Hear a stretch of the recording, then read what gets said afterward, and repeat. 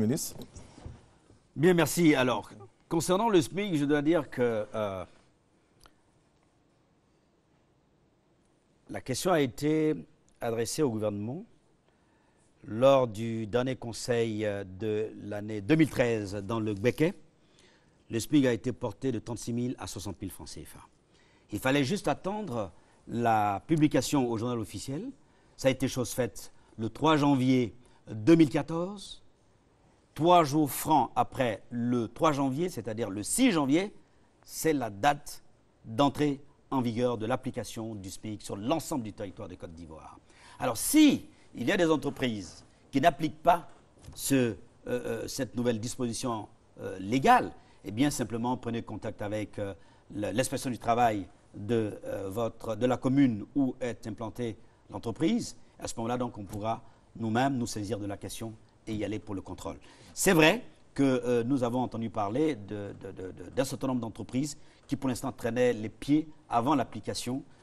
bon, on a déjà enregistré cette question et je crois que dans les jours à venir, une communication, d'abord un communiqué sera fait pour préciser ce que je viens de vous dire et avec un délai pour que nos euh, inspecteurs puissent, n'est-ce pas, sillonner euh, les différentes zones industrielles pour commencer à identifier les récalcitrants en termes d'application de cette nouvelle disposition. Ça, c'est pour la première question. Alors, concernant les sociétés euh, de, de placement, bon, je crois que c'est il s'agit de dispositions qui leur sont propres. Et c'est un peu comme dans les, on va dire dans le logement. Lorsque une agence vous trouve un logement, il y a des frais à payer. Une fois que les frais sont payés, les frais ne sont plus répétitifs. C'est pour ça que la question, je n'ai pas bien compris. Il reçoit 25%, mais euh, je vais dire une seule fois. Après, normalement, donc l'entreprise où il est placé devrait payer un salaire. C'est pour ça que je n'ai pas bien compris ce qu'il a voulu dire. Il y a 75% qui restent à l'entreprise et 25% qui lui reviennent. L'entreprise de placement récupère 75% euh, de. Mais de toutes, les, de toutes les façons. Payé régulièrement. C'est-à-dire chaque mois. ils, eux, ils ont 25%. non, le. le, euh, comment on appelle ça Le salarié. Le salarié a, 25% 75 ou 25 Bon, c'est 25, je crois. Le salarié reçoit 25% oui, mais la, vraie question, c'est que l'entreprise perçoit tout le temps. Non, non. Tout le temps que dure le contrat. Non, non. Alors, on va se mettre. ça la difficulté. on va se mettre d'accord. Je crois que le, il n'est pas allé au-delà, parce qu'en réalité, un contrat, c'est un accord entre deux parties. Qu'est-ce qui, lui, a signé comme contrat de travail et qu'est-ce qu'il a accepté comme salaire? Je crois que c'est très important. Moi, je peux donc placer quelqu'un mais au préalable, on s'entend sur une rémunération à lui verser. Si la rémunération qui est prévue dans le contrat de travail, c'est cette rémunération qui lui est versée et auquel il a souscrit, signé, bon, on appliquera le salaire qui est contenu dans le contrat de travail. Vous comprenez ce que je veux dire Alors maintenant, qu'on prenne 50% ou 75%, ce n'est pas ça la question. Qu'est-ce qu'il a signé comme contrat de travail et quelle est la rémunération qu'il a acceptée quand il venait dans ce travail? À partir de ce moment, je pense que les choses sont très claires. Oui, mais est-ce normal que cette entreprise-là perçoive que ce soit 50, 40% euh, du salaire euh, de cet individu-là durant toute la durée du contrat. Je crois que la, préoccupation de cette personne-là, c'est cela. C'est ce que je suis en train de, de vous expliquer. Moi, je n'ai pas le contrat, mais ce que je peux vous dire, tout dépend du contrat que lui, il a avec l'entreprise. Je vous donne, euh, soyons précis. Hein. J'ai 100 000 francs. attendez, j'ai une société qui me demande un gardien, c'est 100 000 francs. Que moi, individu, je paye à l'entreprise. N'est-ce pas? Bon, euh, que je paye à l'entreprise. L'entreprise a des gardiens à sa disposition. Il dira, par exemple, Monsieur Pierre, allez chez euh, le ministre Dosso, voilà le contrat donc, de travail que nous avons. Mais je signe ce contrat. Sur les 100 000 francs CFA, Aujourd'hui, je suis à 60 000 francs donc, de SMIC, minimum. Sur les 100 000 francs, il ne peut pas me payer 25 000 francs, ce n'est pas possible. Vous voyez ce que je veux dire? C'est pour ça que je vous demandais, je vous disais que là, ce n'est pas précis, parce que si moi, en tant que euh, celui qui reçoit le service, je paye, mais l'entreprise doit payer le salaire qui est convenu dans le contrat de travail du gardien qui est présent. On est d'accord sur la question. Mais aujourd'hui, c'est le SMIC. J'ai 60 000, il ne pourra pas me payer 60, euh, euh, voyez, euh, moins de 60 000 francs CFA. Je crois que c'est cela aussi qu'il faut qu'on comprenne. Bon, on va suspendre ce sujet. On va aller sur le PGDEC rapidement parce que le temps. Oui, alors. Donc, deux jeunes gens qui ont bénéficié du programme PGDEC, ils ont eu contrats. Six mois, j'ai bien noté la préoccupation. Ils sont à la maison. Ils sont à la maison, mais ils doivent continuer à fréquenter l'ensemble de notre dispositif. Je vous, ai, je vous ai énuméré les différents programmes qui sont en cours. Aujourd'hui, ce stage-là est terminé, c'est six mois, mais il y a d'autres programmes qui sont en cours. Pourquoi ne va-t-il pas, par exemple, à la plateforme de services ou à l'AGFOP, où il y a euh, là un cabinet d'ingénierie qui continue de la formation, les compléments de formation qui leur est indispensable pour mener à, je veux dire, des projets d'auto-emploi. Je pense qu'ils doivent avoir une vue globale de notre dispositif parce que c'est cela qui est important. Aujourd'hui, vous arrêtez, mais demain, vous avez une autre possibilité. Alors, il faut passer d'un programme à un autre jusqu'à ce que vous puissiez, n'est-ce pas, vous avoir, euh, vous insérer définitivement. Toute une orientation a été donnée au niveau gouvernemental pour euh, lutter euh, contre le chômage en Côte d'Ivoire. Cette orientation a été formalisée le 26 novembre 2013 à Boaké par l'adoption d'une stratégie de relance de l'emploi. Les précisions de Patrice Kwaku dans un récit d'Herman Nyamia. Dans le cadre de la stratégie de relance de l'emploi, une série de mesures rendent plus perceptibles les initiatives du gouvernement.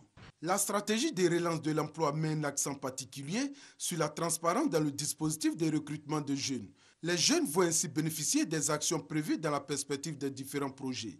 Le dispositif opérationnel est constitué de la plateforme de services, de la GEP, de la GFOP et de l'unité formation-emploi. La stratégie de relance de l'emploi est un renforcement des capacités au niveau de ces structures pour qu'elles soient opérationnelles au cours de l'année 2014. Ces structures bénéficient de l'appui des partenaires techniques et financiers. La stratégie de relance a fait un focus sur 107 projets de développement et d'insertion qui sont développés par les ministères techniques et par d'autres structures qui vont permettre donc de, de faire sortir un potentiel d'emploi de près de 1,6 million à l'horizon 2015. Il s'agit pour nous, donc, dans notre rôle de coordination, de nous assurer que ces programmes sont mis en œuvre dans les délais et que les financements prévus soient effectivement euh, mis à disposition, de sorte que euh, les objectifs, du moins le potentiel de 1,6 million soient optimisés. Il y a une dynamique au niveau de la synergie et une corrélation positive entre l'économie et la création d'emplois. Diakité Ibrahim, Radio Côte d'Ivoire. Bonsoir. Bonsoir. Le ministre est à vous. Bonsoir, monsieur le ministre. Monsieur, bonsoir. Alors, avec vous, on va parler de la stratégie de relance de l'emploi. À ce niveau, plusieurs euh, éléments euh, concourent euh, à aider à relancer l'emploi. Alors, on va parler d'abord du stage école. À votre niveau, comment cela comment le stage école peut-il relancer l'emploi, surtout quand on sait que le stage ne garantit pas à coup sur l'emploi, et surtout que le stage ne suffit pas pour l'expérience demandée par les entreprises Bien. Alors, le stage emploi est simple.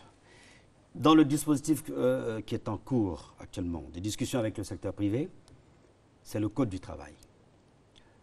Les discussions ont été longues, mais à la date d'aujourd'hui, on peut euh, euh, valablement dire que le secteur privé a compris les préoccupations du gouvernement.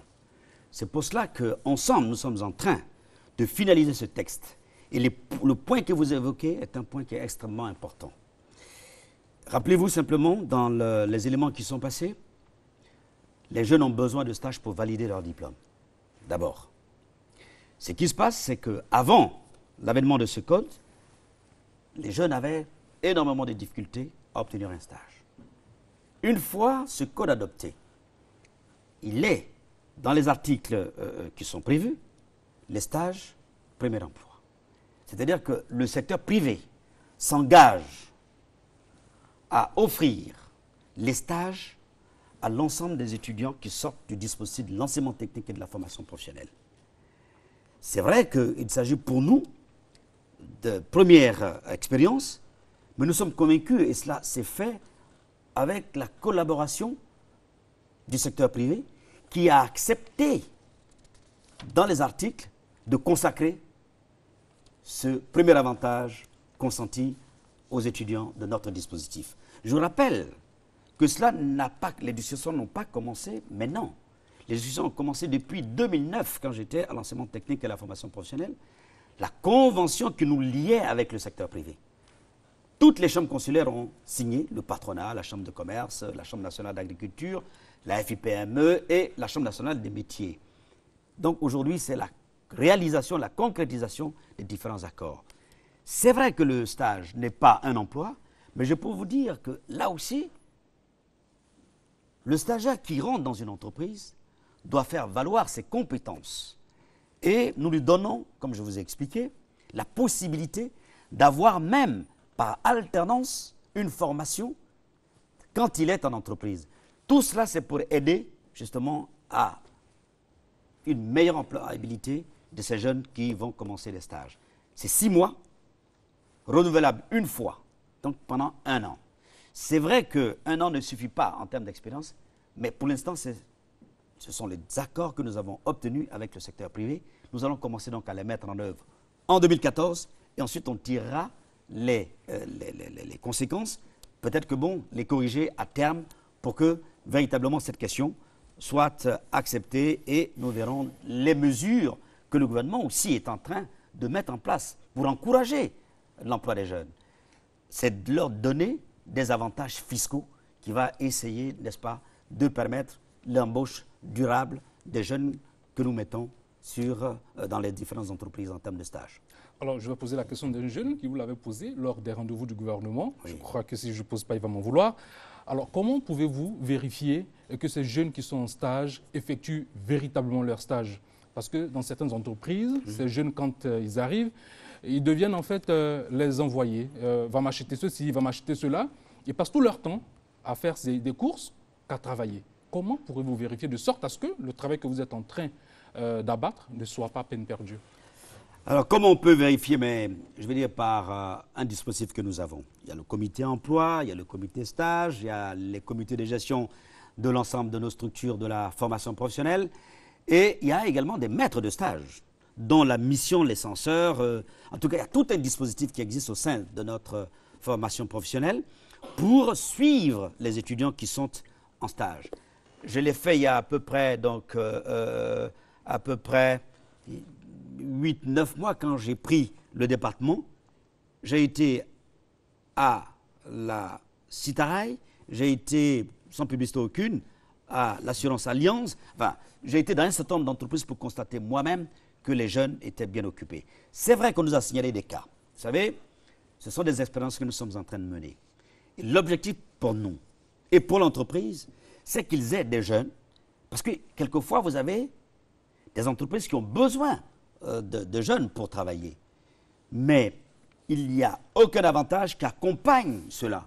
Puisque souvent, ce qu'on nous reproche, c'est que les étudiants, surtout dans les, dans les ateliers, utilisent la main-d'œuvre, pardon, la, matière d'œuvre, c'est-à-dire ils vont utiliser, n'est-ce pas, des postes à soudure, par exemple, si c'est, euh, vont utiliser un ordinateur, et quelquefois, quand il y a des casses, eh bien, l'employeur n'est pas indemnisé. C'est pour cela que tout ça, va être discuté dans le cadre justement de, du contrat complémentaire, c'est-à-dire d'un avenant que nous allons adopter à la première convention que nous avons signée en 2009.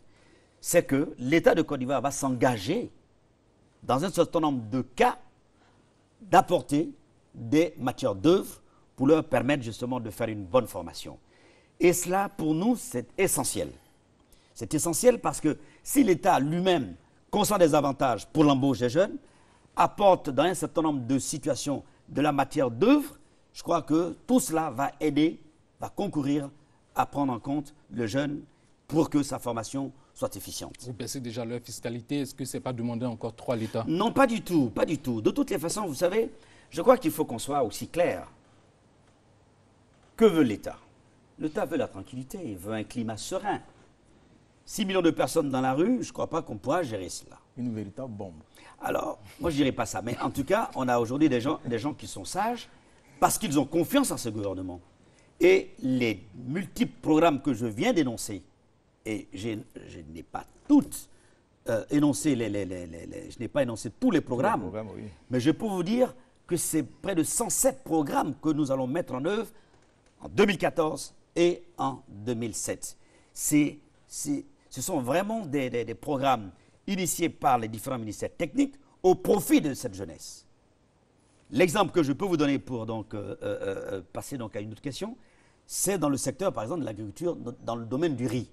Pratiquement tous les grands Olam, Nestlé, Monsieur le ministre, vous citez beaucoup trop les entreprises. Oui, mais parce que. Mais, mais, pas, non, vous envoyer la facture. Hein. Mais parce que ce sont eux qui sont sur le terrain et qui nous apportent leur concours pour tenter de résorber donc, cette, ce, ce, ce, chômage. Oui, non, donc je me, dois, je me dois de leur rendre donc ici un hommage pour tout ce qu'ils font. Mais l'État, lui, ne va jamais cesser d'accompagner les entreprises pour que la question puisse être prise en compte et que des solutions pérennes soient trouvées pour l'emploi et l'embauche de cette jeunesse. Tout sera mis en œuvre, je peux vous garantir. OK. Alors, Monsieur le ministre, on passe à un autre point dans votre stratégie de relance de l'emploi. Il y a la question de l'auto-emploi. Alors, comment concrètement vous allez euh, mettre euh, ce projet-là en œuvre? Et surtout qu'Abidjan enregistre 19,5% de chômage. Oui. Alors, moi, je, souhaite que on, on, soit très, très, très, très précis. Alors, L'entrepreneuriat se fait déjà. Au PGDEC, dans le programme qui a cours, il y a des modules pour permettre aux jeunes de recevoir une formation complémentaire pour qu'il lui-même puisse élaborer son business plan. Il a un projet, il voit les structures du gouvernement, c'est l'INUE, c'est le PGDEC, c'est la GEFOP, qui ont déjà des modules qui sont déjà en vigueur. Donc il ne s'agit pas de quelque chose de nouveau. Mais il nous faut amplifier le mouvement. Ça, je suis parfaitement d'accord avec vous. Il faut amplifier le mouvement. Mais ces modules-là fonctionnent. Aujourd'hui, nous avons des programmes qui contiennent les modules d'entrepreneuriat. Je demande simplement aux jeunes de fréquenter les différentes structures de notre dispositif. Le PGDEC, on l'a cité, l'AGEFOP est connu, l'AGEP est connu, la plateforme de services est connue. Tout cela, c'est pour que nos jeunes puissent y aller, obtenir donc les informations et que les formations complémentaires qui sont dédiées, qui leur sont dédiées pour l'entrepreneuriat, pour certains, pour des stages, pour d'autres, eh bien qu'ils puissent exploiter, utiliser à volonté les mécanismes qui sont mis en place par le gouvernement. Alors permettez à ce niveau l'entrepreneuriat. Euh, pourquoi ne pas euh, l'insérer directement pendant la formation de ces étudiants et attendre qu'ils sortent euh, avant, je veux dire, d'en bénéficier? Alors, Pratiquement, ça ne se fait pas dans nos écoles. Alors non, ne dites pas ça. Ne dites pas ça. Chez moi, dans notre dispositif, eh bien, on le fait. Cinq minutes. Nous le faisons. Encore une fois, je suis en train de vous dire quelque chose. La réforme de notre ordre d'enseignement est une des priorités que le gouvernement a adoptées. Quand vous prenez l'université, le LMD, c'est un début de réforme. Vous prenez dans notre système de l'éducation nationale, il y a des réformes. Chez moi, il, y, a, il y a des réformes. Je suis d'accord avec vous qu'il faut donner une amplitude à cela. Permettre aux jeunes de disposer, tel les bons, ce module-là et pouvoir s'accoutumer et puis devenir demain des jeunes entrepreneurs. Mais quand vous, prenez les établissements d'enseignement privés qui sont installés aujourd'hui sur la place, reconnus, et dans notre dispositif à nous, dans le cadre de la réforme de la formation professionnelle que nous sommes en train de mener, je peux vous dire que le module de l'entrepreneuriat est en bonne place. Et l'objectif, justement, c'est cela. C'est de faire ce que vous dites, c'est-à-dire, dès les bons, et bien que ce module-là fasse partie de leur curriculum, de leur curricula. Je pense que nous allons réussir ce défi ensemble avec le secteur privé qui a totalement adopté cette euh, dynamique et je crois que nous sommes bien partis pour réussir ce, ces, différents modules. On y espère. Alors, Monsieur le ministre, euh, deux dernières questions, j'espère. Vous avez parlé tout à l'heure de recyclage, de philosophes, de criminologues. Alors, euh, est-ce que ce recyclage tient compte de leur niveau, de leur diplôme? Pour la prise en compte de leur salaire Oui. Alors, oui, parce qu'aujourd'hui, quelqu'un qui sort de notre dispositif universitaire, vous avez cité, c'est vrai que s'il choisit l'enseignement, il aura les grilles de la, de la fonction publique et les grilles qui existent dans le secteur privé pour l'enseignement. Mais dès lors où l'État de Côte d'Ivoire, le secteur privé, a des besoins d'un certain nombre de secteurs d'activité, Par exemple, l'électricité. Je cite cela. Ce cas, vous vous rappelez tous ici, pendant la privatisation de la structure EECI, Mais aussi, les yeux de Benjaminville a été fermé. ça a été fermé. Pareil pour Côte d'Ivoire Télécom. L'école de- des télécoms du Ils ont kilomètre pété. 4 a été fermée. C'est vrai que ces établissements, qui étaient des établissements régionaux, recevaient des étudiants des pays de la région pour recevoir des formations pointues dans le domaine des télécoms et dans le domaine de l'é- l'électricité. Ces écoles étant fermées, sur le marché, ce qui s'est passé, c'est que progressivement, vous voyez, on n'a pas renouvelé ce stock d'ingénieurs, d'ouvriers ou d'agents de maîtrise. Deux minutes. Et aujourd'hui, c'est ce que nous sommes en train de faire. Mais ceux qui ont déjà un niveau, on leur offre la possibilité de se reconvertir dans des domaines techniques, technologiques, informatiques. Eh bien, ces curricula sont offerts et un certain nombre d'étudiants qui sortent, n'est-ce pas, de ces filières-là, acceptent de se reconvertir parce que ça prend, parce que quand vous avez une maîtrise, c'est quand même quatre ans après le bac, ben vous acceptez de vous reconvertir au bout d'un an, parce qu'on ne veut pas faire trop long les curricula, mais vous devriez le répéter pendant que vous êtes en, en, euh, En activité. situa- en activité, ben, au moins une fois ou deux fois pour être parfaitement technique, technique dans le domaine que vous avez choisi. Je crois que, une dernière je crois que c'est cela, c'est cela, qui est- c'est cela qui est important. Je peux vous dire que au niveau du ministère et au niveau du gouvernement, nous sommes hautement conscients de cette faiblesse et nous entendons y remédier, mais à la base, et je crois que c'est cela qu'il faut retenir, nous avons parfaitement compris qu'il y avait des difficultés, eh bien, dès l'entame donc euh, des, des études supérieures, ces modules-là vont progressivement venir et nous, notre dispositif va probablement s'enrichir de nouveaux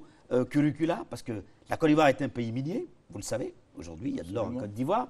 La Côte d'Ivoire devient progressivement un produit pétrolier, gazier, d'électricité, d'énergie. Eh bien, toutes ces filières-là doivent avoir aujourd'hui un pendant dans notre dispositif de la formation professionnelle. En tout cas, c'est l'objectif que nous nous sommes assignés au ministère et le gouvernement nous appuie pour que justement on puisse recevoir des étudiants qui sortent des dispositifs de l'enseignement supérieur, de l'éducation nationale, pour leur donner ce complément de formation. C'est cela, la Côte d'Ivoire de 2020. 22 42 58 Laetitia Manglé. Merci Victorien. Nous avons d'autres préoccupations. Monsieur Boni Kofi, qui nous appelle de Trècheville, aimerait savoir pourquoi l'âge de souscription au projet PGDEC est fixé à 30 ans et quel est le sort donc des diplômés dont l'âge excède 30 ans? Ensuite, M. Traoré Ibrahim de Koumassi aimerait savoir comment le ministère compte soutenir les jeunes qui ont décidé de faire de l'auto-emploi à défaut d'être embauchés ou recasés selon leur qualification. Nous avons une autre préoccupation d'un monsieur qui a préféré garder l'anonymat, qui nous appelle de Yopougon. Il dit qu'aujourd'hui, les inspecteurs du travail sont très corrompus. Ils reçoivent des enveloppes de la part des entreprises pour ne pas que leurs problèmes soient résolus. Donc, il aimerait savoir comment faire face à ce problème. Et dernière préoccupation, c'est mademoiselle TCC Yasmina qui appelle de Yopougon-Ndokwa. Elle est dans une entreprise privée depuis près de deux ans et elle a un contrat qui n'est ni un CDI ni un CDD, mais un contrat qu'on appelle CAT. Elle aimerait donc savoir si le ministère de l'Emploi reconnaît ce contrat. Merci Victorien. Monsieur le ministre, Bien, on apprend tous les jours, hein, vous savez. de- On apprend tous les jours. Alors donc la première question. Alors c'est l'âge qui part de 15 ans, hein, donc à 30 ans. Comme vous savez tous, en Côte d'Ivoire, l'âge euh, euh, qui est retenu pour... euh, non, non, pas la maturité. L'âge qui est retenu pour le travail, c'est le 14 travail, ans. 14 ans. Voilà. Et bon, alors encore une fois, euh, euh, il faut éviter de faire de la fixation sur ces limites-là. Ouais, je crois que vous avez déjà répondu. Voilà, j'ai répondu à cela. Voilà, donc Euh, aujourd'hui, il y a d'autres programmes. 30 Le PGDEC, c'est un programme. Mais à côté, vous avez d'autres programmes qui prennent en compte ceux de 40 ans, 50 ans. Donc la reconversion. Deuxièmement, le fonds. Euh, Excusez-moi, comment aider les entreprises? Et bien entendu, dans le- notre dispositif, nous avons plusieurs fonds. Il y a le FIDEN, le Fonds ivoirien de développement de l'entreprise nationale. Nous avons le Fonds national jeune, le FNJ, qui est logé. Alors, le premier est logé au ministère du Commerce Commerce, oui. artisanat. Le deuxième est logé à la jeunesse, au ministère de la jeunesse. Le troisième, le FSE Timo, est logé chez nous. Mais nous ne nous allons pas nous contenter de cela. Avec mes services, nous sommes en train de travailler à mettre en place un fonds de garantie. Je crois que c'est cela qui est important pour aider les jeunes à faire de l'entrepreneuriat. Et on partira probablement de la taxe d'apprentissage, qui est une taxe qui est dédiée aux apprentis dans notre dispositif. C'est pour cela que, ensemble avec le secteur privé, nous avons commencé une réflexion, un projet de TDR, c'est-à-dire des termes de référence, m'a été proposé. Et ce que nous souhaitons, c'est avant la fin du mois de juin, peut-être même lors de notre salon ivoirien des métiers de la ville d'Abidjan, annoncer, annoncer, j'ai dit bien, ce fonds-là de garantie qui va venir aider tous ceux qui vont entreprendre et tous ceux qui ont besoin d'un appui, d'un prêt pour mener leurs activités. Je crois que c'est cela la réponse. Et le, président de la République ne dit pas autre chose. Il dit qu'il faut aider. Personne, je dis bien personne, ne restera à quai. On trouvera toutes les solutions, comme lui-même s'appelle Ado Solutions, on trouvera toutes les solutions face aux préoccupations de cette question qui reste centrale, transversale, appelez-le comme vous voulez, mais l'objectif du gouvernement, c'est véritablement de nous engager. Et comme vous le savez, le 26 novembre, le gouvernement a donné 18 milliards pour venir compléter le dispositif qui existe déjà, qui était à 50 milliards de francs CFA. Donc aujourd'hui, ça nous fait 68 milliards, 68 euh, milliards de francs CFA qui va être consacré au projet jeune. Alors commençons déjà à dépenser ces 68 milliards de francs CFA. Je suis convaincu que sur 2014, des fonds vont venir et que nos partenaires techniques et financiers vont continuer d'aider la Côte d'Ivoire parce que l'emploi des jeunes, non seulement est une préoccupation, mais nous sommes engagés ensemble dans des programmes qui, pour moi, sont extrêmement importants pour que la sécurité et la paix reviennent définitivement dans ce pays. Aux, aux autres questions. Inspecteur du travail, bon. L'inspecteur, bon, écoutez, aujourd'hui on a mis une haute autorité hein, donc, pour lutter contre la corruption. Je pense que s'ils ont des preuves, il y a un numéro vert, vous pouvez les appeler pour signaler donc ces inspecteurs. J'ai ici avec moi le directeur général du travail. Et on pourra donc. Yasmina, entreprise alors, pas de contrat CDD ni CDI. On parle d'un contrat CAT. Je vous ai dit, on apprend tous les jours. Moi, je ne connais pas ce contrat. Donc, euh, nous allons prendre ces coordonnées et ensuite donc, nous rendre dans cette entreprise pour en savoir davantage. Merci, Monsieur le Ministre. Merci. Un million d'emplois à l'horizon 2015, soit environ 200 000 emplois par an. Des objectifs quantitatifs à la portée du gouvernement, rassure le président de la République, Alassane Ouattara, lors de son adresse à la nation le 31 décembre 2013. Finalité, faire en sorte que chaque Ivoirien bénéficie de la croissance et les Ivoiriens sont dans l'attente. L'emploi, particulièrement l'emploi des jeunes, demeure également une priorité, un réel sujet de préoccupation. Le rythme actuel de création d'emplois ira encore plus vite, avec notamment les mesures nouvelles prévues pour l'année prochaine. Malgré les difficultés rencontrées, l'objectif de création de 1 million d'emplois sur 5 ans est toujours à notre portée.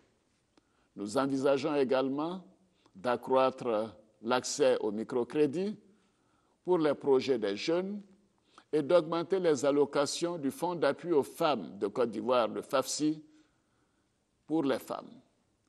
Ces mesures offriront une véritable bouffée d'oxygène à côté de l'agriculture qui demeure le principal secteur pourvoyeur d'emplois. Thomas Guessambi de RTI. E. bonsoir Thomas, le ministre est à vous. Bonsoir Victorien, bonsoir Monsieur le ministre. Monsieur, bonsoir. Monsieur le ministre, euh, c'est toujours bon de créer des emplois, mais ce n'est pas aussi mauvais d'en sauvegarder. Je veux dire, est-ce que vous avez une véritable politique pour sauvegarder les emplois? Je veux dire, le, grand, le grand nombre de chômeurs amène par moment des employeurs à faire du chantage. Oui, je crois que euh, nous sommes parfaitement d'accord avec vous la politique du gouvernement est très claire dans ce sens-là. Nous avons toutes les structures du ministère d'État, ministère de l'Emploi, qui a à charge la gestion de cet important dossier. Les structures existantes, il faut simplement que nous ayons donc un lien avec ces employeurs à travers les différentes chambres consulaire.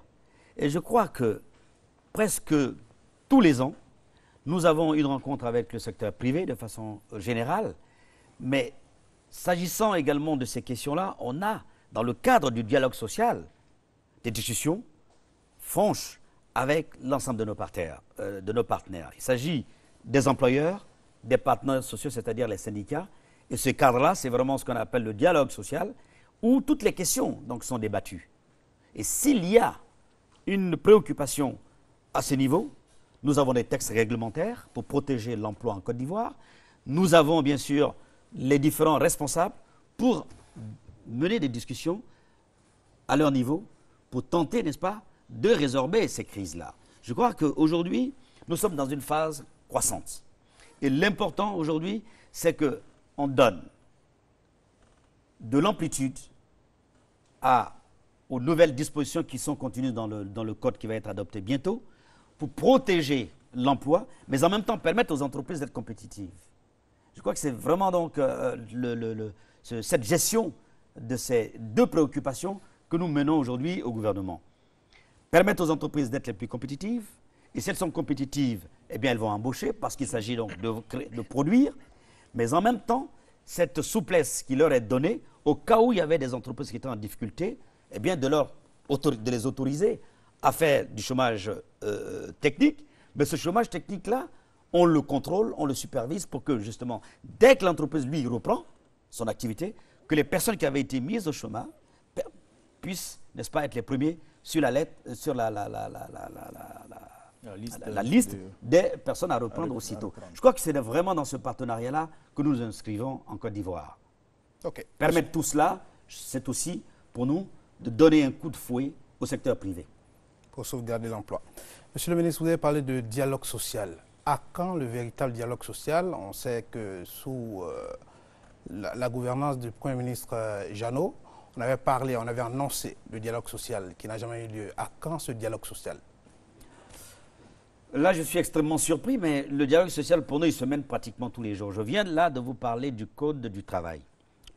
Lequel? Parce qu'il y a un code qui est en souffrance depuis 2007. C'est de celui-là que je parle. S'il est en souffrance depuis 2007, c'est justement parce que dans le cadre de ce dialogue-là, ils n'ont pas trouvé de solution. Mais nous, ça fait un an que nous sommes au ministère. On a eu au moins cinq rencontres ça, c'est vraiment des ateliers qu'on a eus à Bassam, au plateau, avec l'ensemble des partenaires euh, techniques et l'ensemble des partenaires sociaux sur le Code du travail. La dernière version a été déposée au gouvernement avant la fin de l'année, donc c'est pour vous dire qu'on a abouti. C'est uniquement parce qu'on a eu un cadre global de dialogue qui nous a permis d'aboutir sur un certain nombre d'articles. Aujourd'hui, c'est vrai qu'il reste encore quelques détails, mais je peux vous dire que l'essentiel a été fait et on doit reprendre d'ailleurs les discussions pour finaliser. Il y a pour nous, quand on s'est séparé au mois de décembre, il y avait, je crois, quatre préoccupations, c'est-à-dire quatre articles sur euh, à peu près 200 articles contenus dans le Code du travail. C'est pour vous dire que là, le dialogue social a vraiment fonctionné. D'accord. Moi, pour être prudent, j'ai échangé avec euh, les acteurs des, syndicats de Côte d'Ivoire qui m'ont dit que véritablement, en dehors de ce que vous appelez les échanges avec eux tous les jours, ils attendent un grand rendez-vous où il sera question de parler, par exemple, de travail décent. Alors, d'abord, qu'est-ce que vous appelez travail décent? Le travail décent, c'est le travail qui réunit les conditions à la fois d'épanouissement, je veux dire en termes de rémunération et en termes de conditions de travail, Mais et qui puisse garantir ces jours. C'est la lutte de tous les jours du ministère qui a en charge la question du travail en Côte d'Ivoire. Nous venons là de relever le SMIC. Ça fait partie du relèvement du niveau de vie, de la lutte contre, justement, ce travail dont vous parlez. Là, nous allons bientôt entamer la mise en œuvre de la couverture maladie universelle, donc une protection sociale. Je pense que le cadre du dialogue social fonctionne, à ma connaissance, puisque c'est tout. Ces travaux que nous menons, on ne le mène pas en dehors de ce cadre du dialogue social qui existe depuis plusieurs années. La question de la protection sociale, de l'hygiène, on vient là, il y a à peu près 3-4 mois, de nous accorder tous sur la liste des maladies professionnelles en Côte d'Ivoire. Je ne l'ai pas fait en dehors du cadre qui est dédié à ces préoccupations. Alors, je peux vous dire que le dialogue social fonctionne. dans la mesure où je vous ai cité quelques exemples. Un, le Code du travail qui est en cours, bientôt il sera finalisé. Là, nous sommes tombés d'accord sur la liste des maladies professionnelles. Le débat avait lieu depuis plusieurs années. On vient de boucler ce dossier, cela en tripartite. Donc, voilà au moins deux, et je vais vous donner le troisième, c'est la couverture maladie universelle. Tout cela se fait dans le cadre du dialogue social. Alors, ne me dites pas qu'il n'y a pas. La couverture maladie universelle. Universelle, ça fera l'objet d'une autre émission, si vous. Écoutez, moi, je suis vraiment donc à votre disposition pour apporter toutes les informations concernant donc ce, ce, projet important. Monsieur le ministre, le nouveau code va donner plus de pouvoir aux inspecteurs du travail? Oui. Vous le garantissez Oui. D'accord. Monsieur le ministre, nous sommes en face des jeunes, des Ivoiriens qui vous regardent. Est-ce qu'il y a de l'espoir? Je veux dire, qu'est-ce que le gouvernement, à travers votre ministère, peut faire? Qu'est-ce qu'il ne peut pas faire pour réduire le chômage? Alors, là encore, je vais être... Et, naturellement, quel temps Alors, là encore, je vais être extrêmement précis avec vous. Et c'est juste vous donner une idée des différents programmes qui ont cours et qui vont connaître leur amplitude en 2014 et en 2015. Tout à l'heure, je vous ai parlé des différents programmes dédiés à l'emploi des jeunes. Ça, c'était les programmes qui étaient initiés à l'intérieur de mon département ministériel. Et je vous ai dit, il s'agit d'une question transversale, donc qui touche à plusieurs ministères techniques. Mais je voulais simplement citer quelques-uns de ces ministères et les projets, et surtout donc l'impact social sur la jeunesse en termes d'emploi. Au ministère de l'Agriculture, il y a 10 projets. Ces 10 projets, c'est du riz, c'est du café, c'est les produits vivriers. C'est 10 projets. Je peux vous donner dans le détail, si vous voulez, les 10 projets. Mais ce que nous retenons, l'impact, et c'est cela qui est le plus important, sur la période 2013-2015, nous allons créer 1 224 570 emplois, uniquement dans le domaine agricole, sur les différents projets, dont la majorité sera dans la culture du riz, simplement parce que la Côte d'Ivoire a décidé vraiment de l'autosuffisance en riz. On importe trop, ça coûte cher. Le deuxième, c'est le secteur des transports. Il y a 16 projets que nous allons offrir aux jeunes de 2013 à 2015, à peu près 200 000 emplois créés. Dans les infrastructures, 30 500 emplois. Dans les services, 10 projets, 50 637 emplois. Dans les mines pétrole, gaz, énergie, à peu près 100 000 emplois. Voici les projets que nous allons initier tout au long de l'année 2014 et 2015 pour le bonheur de notre jeunesse. Quand vous additionnez tout cela, on arrive à 1 637 326 emplois qui sera créé, qui a commencé à être créé, puisque vous avez vu vous-même les différents reportages qui ont été faits par le Premier ministre sur les différents chantiers qui ont commencé à être exécutés dans la riziculture. Pour vous dire, il s'agira pour nous de terminer le premier mandat du président de la République avec 1 777 000 emplois. C'est clair, on a les dossiers et nous allons les initier très bientôt, puisqu'on a déjà commencé sur 2012-2013 un certain nombre de projets. Voilà ce que je peux vous dire et qui sera dédié à cette jeunesse pour les années à venir. Rendez-vous 2015 pour la comptabilité. Non, non, avant. Avant. Je vous invite au mois de mai 2014. Je voulais simplement rappeler qu'en 2012, il y a eu ici une enquête emploi qui a été très claire en termes de résultats.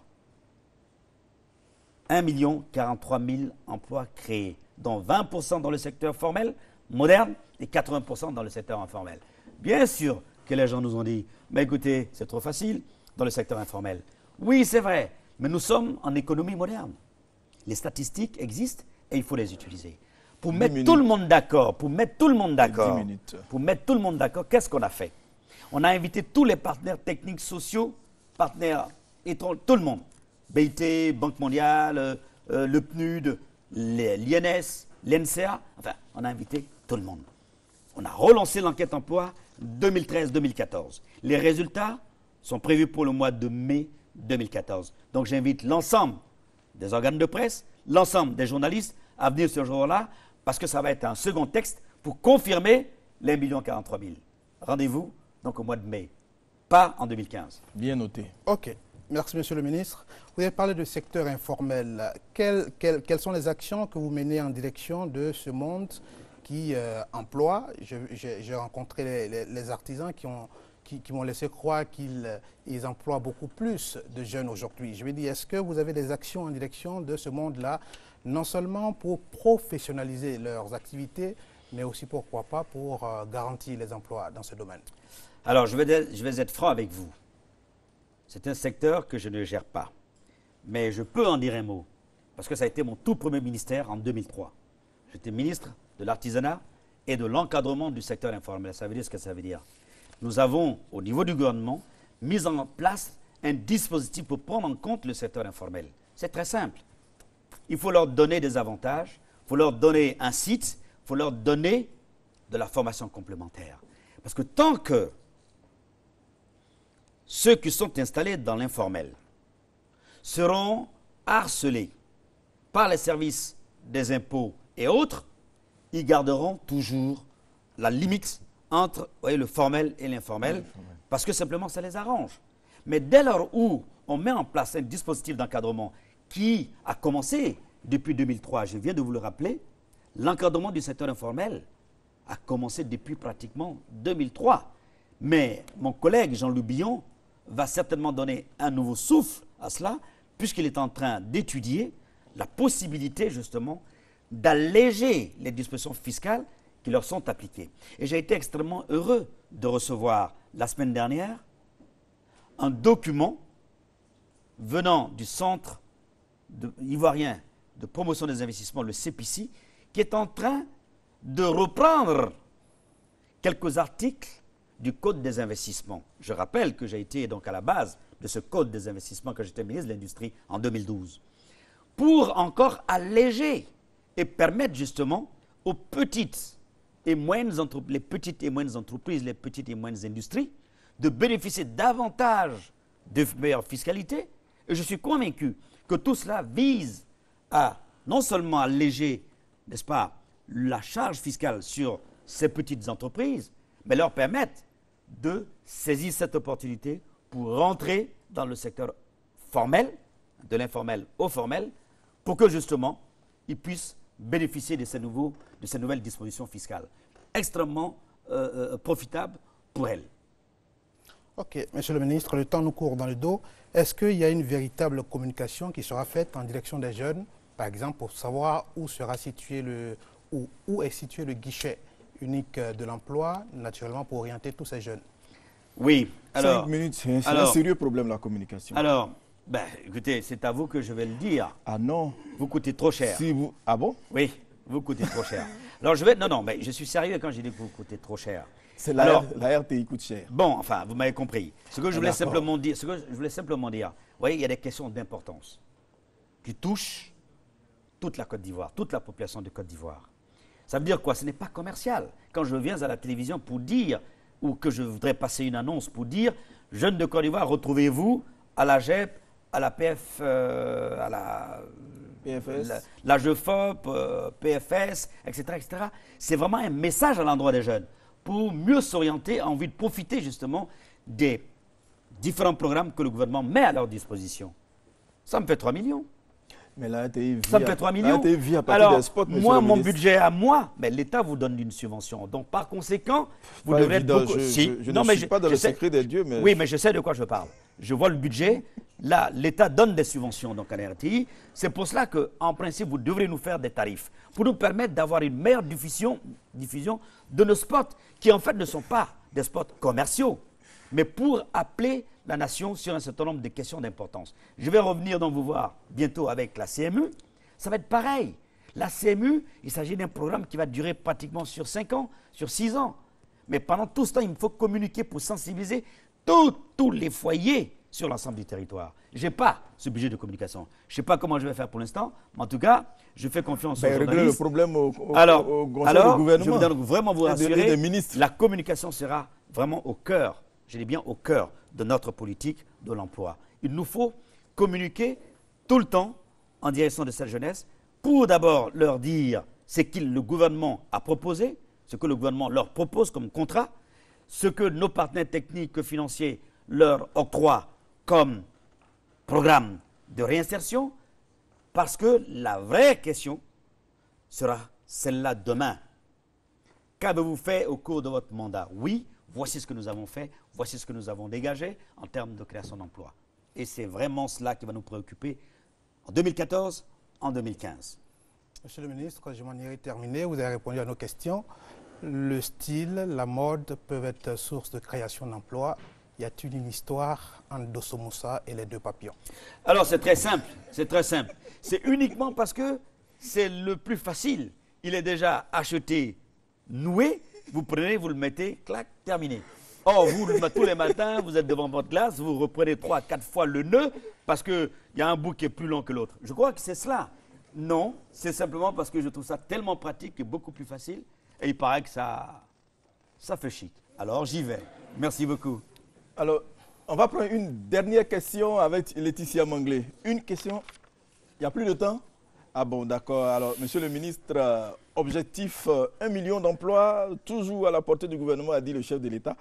Euh, les jeunes de Côte d'Ivoire ont-ils des raisons de croire en la politique de l'emploi que vous avez l'honneur de conduire? Et ça sera votre conclusion. Alors, je, dois dire oui, le président l'a dit. je veux dire, nous, nous nous sommes mis au travail et je peux vous assurer que en 2015, nous pourrons faire le bilan. Mais, je l'ai annoncé, l'enquête 2012, l'enquête emploi 2012, qui a été contesté, nous donnait déjà, à mi-parcours, un chiffre de 1 043 000 emplois. J'ai donné rendez-vous au mois de mai 2014 parce que la deuxième enquête 2013-2014 donnera ses conclusions. Je suis convaincu qu'on sera dans les mêmes tendances parce que la dynamique a commencé. Les grands travaux que vous voyez ont commencé. Les grandes entreprises qui sont aujourd'hui en Côte d'Ivoire dans le domaine de l'agriculture ont commencé à s'installer. Donc toute cette dynamique, le secteur privé va entraîner la croissance et donc va forcément impacter sur l'emploi en Côte d'Ivoire. C'est pour cela que moi, dans mon mot de fin, ce que je voulais dire, les jeunes de Côte d'Ivoire ont raison d'espérer en la personne du président de la République, le docteur Alassane Ouattara, en son gouvernement mené par le Premier ministre Duncan, Cablan Duncan, parce que simplement, on ne va pas passer notre temps à parler. Nous, on agit et on agit depuis que nous sommes là. C'est pour cela que les jeunes doivent connaître nos structures du dispositif. L'AGEP, l'AGEFOP, la plateforme de services, l'INIE, le FIDEN, le FNJ, les FSE TIMO, le FAPA, pour ne citer que justement ces différentes structures qui sont là pour les accueillir et leur donner l'information en termes de programmes que le gouvernement a mis en œuvre, en termes de programmes que les partenaires techniques offrent à la Côte d'Ivoire. Et c'est cela qu'ils trouveront sur les sites que nous allons organiser pour eux. Et puis pour terminer, je dois dire que le gouvernement attend surtout, surtout, que les jeunes soient optimistes. Qu'ils comprennent que le gouvernement travaille pour eux. Et aujourd'hui, nous sommes à mi-parcours, voici les chiffres. Mais les 18 milliards que le président de la République, dans sa visite, euh, lors de sa visite euh, dans le Béquet, a donné, est également pour eux. Parce que le fonds qui va être né de cette, euh, de cette enveloppe va également les aider à créer leurs emplois. je voulais vraiment terminer en disant, et c'est une citation du président de la République, vous me permettrez donc de la lire, car il s'agit pour nous de vous donner sa vision quand il était encore dans l'opposition. Et il dit ceci. À chaque jeune Ivoirien, en âge de me comprendre, je dis solennellement, et j'ouvre les parenthèses, ose l'effort, ose le travail, bats-toi pour réussir. Nous te repérerons là où tu es et nous t'aiderons. Compte sur nous. Fin de citation. Vive la jeunesse ivoirienne. Vive l'emploi pour tous. Vive la Côte d'Ivoire. Je vous remercie. Merci, euh, monsieur le ministre d'État. Merci d'être venu sur notre plateau. Nous vous attendons pour d'autres sujets. Euh, merci, chers confrères. Aoua Kwaku de Nord-Sud, Ibrahim Diakité de Radio Côte d'Ivoire, Thomas Ngessambi de RTI 1. Cette émission est terminée. Bonne suite de programme sur RTI 1.